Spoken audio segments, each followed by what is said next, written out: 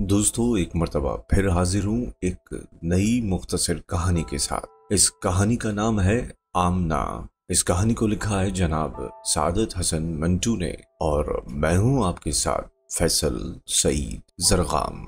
आइए बढ़ते हैं कहानी की जानेब।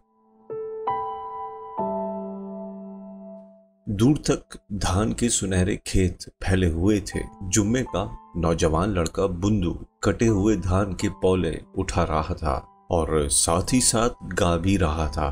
धान के पौले धर धर कांदे भर भर लाए, खेत सुनहरा धन दौलत रे। बुंदू का बाप जुम्मा गाँव में बहुत मकबूल था। हर शख्स को मालूम था कि उसको अपनी बीवी से बहुत प्यार है। इन दोनों का इश्क गाँव के हर शख्स को मालूम था। इनके दो बच्चे थे, एक बुंदू जिसकी उम्र तेरह बरस के करीब थी और दूसरा चंदू। सब खुश खुर्रम थे, मगर एक रोज अचानक जुम्मे की बीवी बीमार पड़ गई।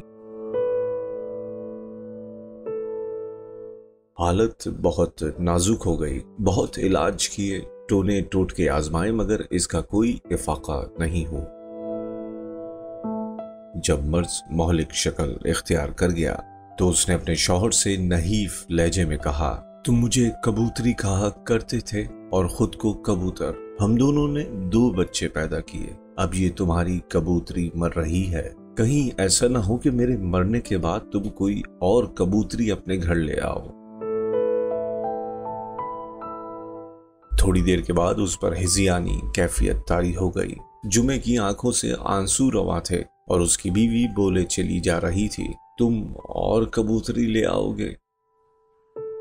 वो सोचेगी, जब तक मेरे बच्चे ज़िंदा हैं, तुम उससे मोहब्बत नहीं करोगे, चुनाचे वो उनको जिबा करके खा जाएगी।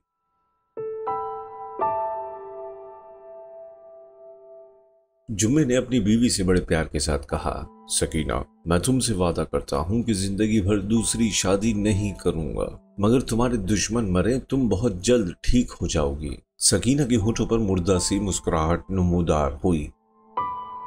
इसके फ़ौरन बाद इसकी रूह कफस अंसरी से परवास कर गई। जुम्मा बहुत रोया। जब उसने अपने हाथों से उसको दफन किया तो उसको ऐसा महसूस हुआ कि उसने अपनी ज़िंदगी मनो मिट्टी के नीचे गाड़ दी है। अब वो हर वक्त मगमूम रहता। काम काज में उसे कोई दिलचस्पी न रही। एक दिन उसके एक वफादार मजारे ने उससे कहा, सरकार बहुत दिनों से मैं आपकी ये हालत देख रहा हूँ और जी ही जी मैं कुड़ता हूँ। आज मुझसे नहीं रहा गया तो आपसे ये अर्ज़ करने आया हूँ कि आप अपने बच्चों का बहुत ख्याल रखते हैं। अपनी जमीनों की तरफ़ कोई तवज्जा नहीं देते। आपको इसका इल्म भी नहीं कितना नुकसान हो रहा है। जुम्मे ने बड़ी बेतवज्जोही से कहा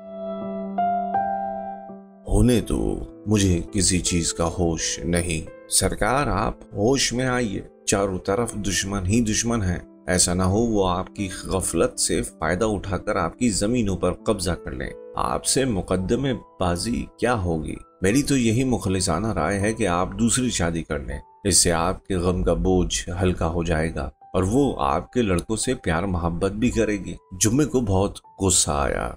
बकवास न करो, रमजानी। तुम समझते नहीं कि सोतेली माँ क्या होती है। इसके अलावा तुम ये भी तो सोचो, मेरी बीवी की रूह को कितना बड़ा सदमा पहुंचेगा।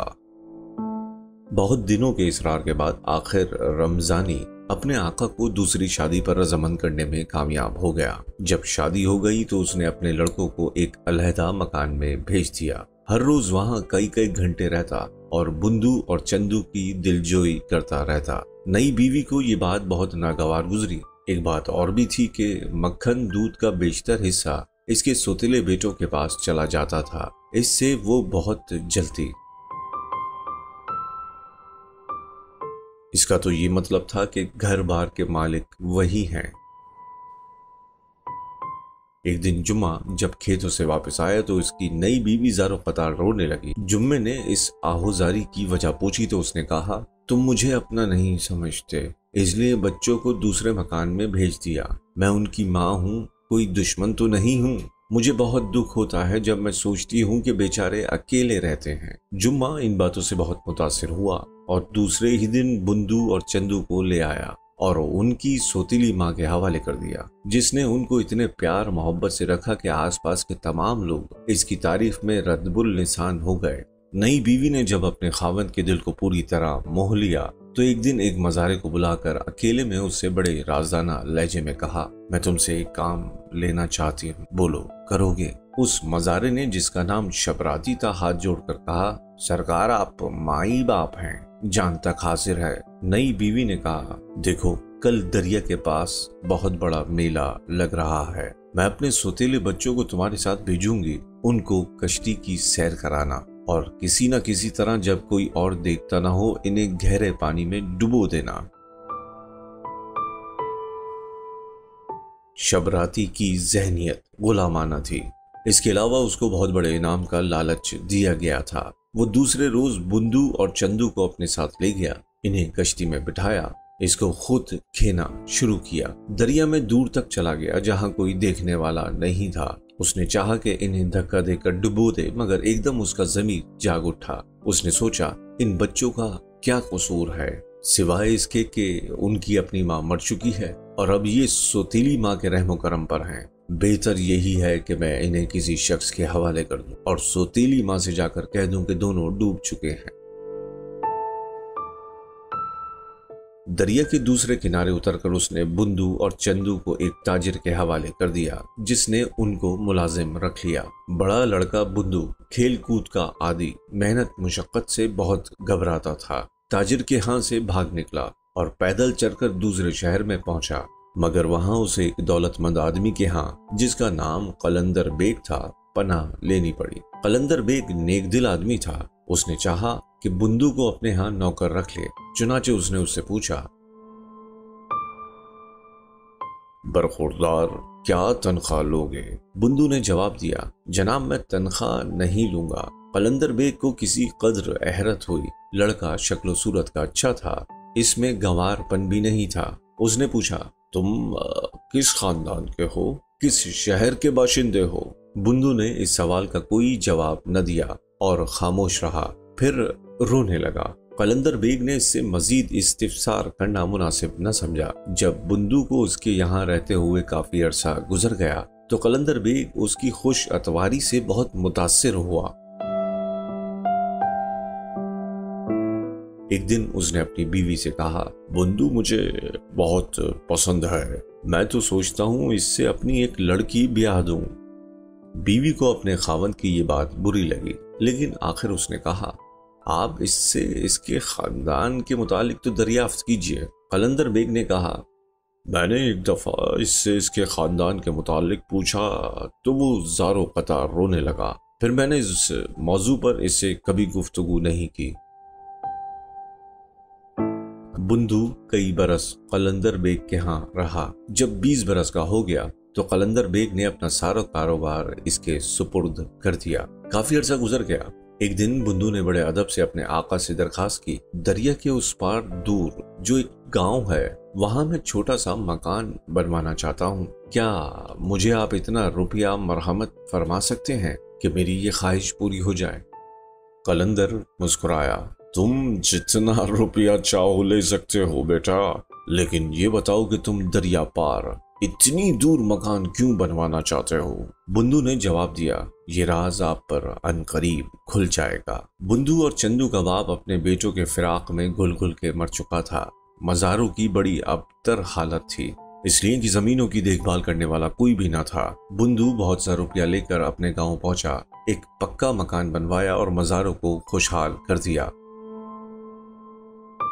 बुंदू का भाई चंदू, जिस शख्स के यहाँ मुलाजिम हुआ था उसने उसको बेटा बना लिया था। एक दफ़ा वो खतरनाक तौर पर बीमार पड़ गया तो उस शख्स की बीवी ने, जिसका नाम समद खान था, अपनी बेटी आमना से कहा कि वो इसकी तीमारदारी करे। आमना बड़ी नाजुक अंदाम, हसीन लड़की थी। दिन रात उसने चंदू की खिदमत की। आखिर वो सेहतमंद हो गया। तीमारदारी के इस दौर में वो कुछ इस तरह घुल मिल गए कि इन दोनों को एक दूसरे से मोहब्बत हो गई। मगर चंदू सोचता था कि आमना एक दौलतमंद की लड़की है और वो महज कंगला। इनका आपस में क्या जोड़ है? इसके वालिद भला कब इनकी शादी पर राज़ी होंगे? लेकिन आमना को किसी कदर यकीन था कि इसके वालदेन राज़ी हो जाएँगे। इसलिए वो चंदू को बड़ी अच्छी निगाहों से देखते थे।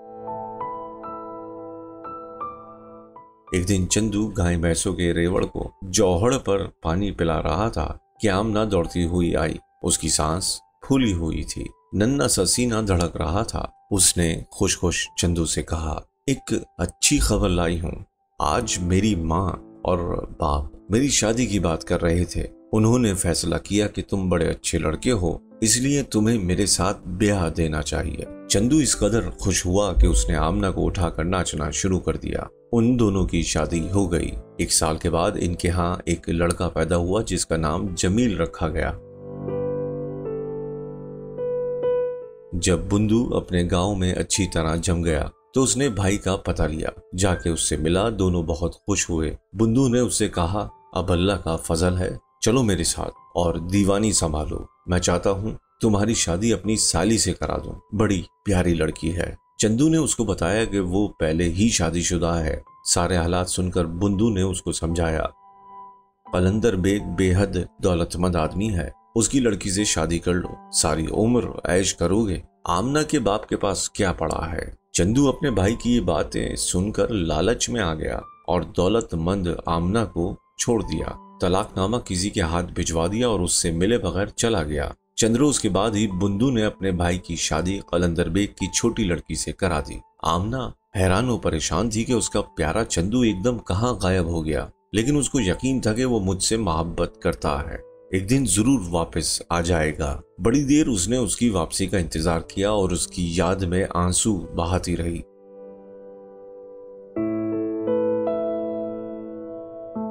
जब वो ना आया तो आमना के बाप ने जमील को साथ लिया और बुंदू के गाँव पहुँचा। इसकी मुलाकात चंदू से हुई।